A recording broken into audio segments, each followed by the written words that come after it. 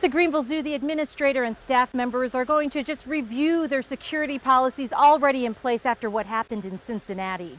I just thought it's so tragic for both the zoo and the family. I hated to see what happened. It was scary. Never know. They had to make a split second decision like a police officer does.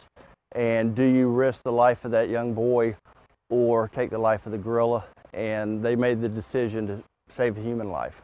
The Greenville Zoo is prepared to take similar action if ever necessary. We have a response team that's responsible for um, using deadly force. Um, we train with the uh, Greenville Police Department. When it comes to most of the animals at the zoo, even the trained staff members keep their distance. We don't go in with any of the animals. All the animals in the zoo are wild.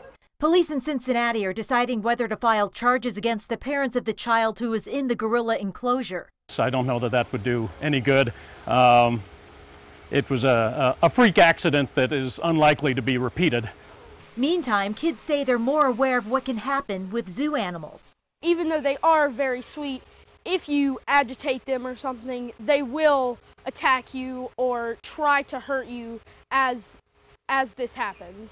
Because when you get really close to an uh, animal, then it might feel like you're trying to either sneak up on it and attack it, and it might attack you. There are many precautionary measures in place that the visiting public may not even realize. For example, the guardrails, keeps people away from the enclosure and these prickly bushes between the guardrails and the actual animal enclosure which is surrounded by as you can see a metal cage so quite a few things already in place to make sure that the zoo visiting experience is good for the staff as well as the visitors. Myra Ruiz, WYFF News 4, Greenville.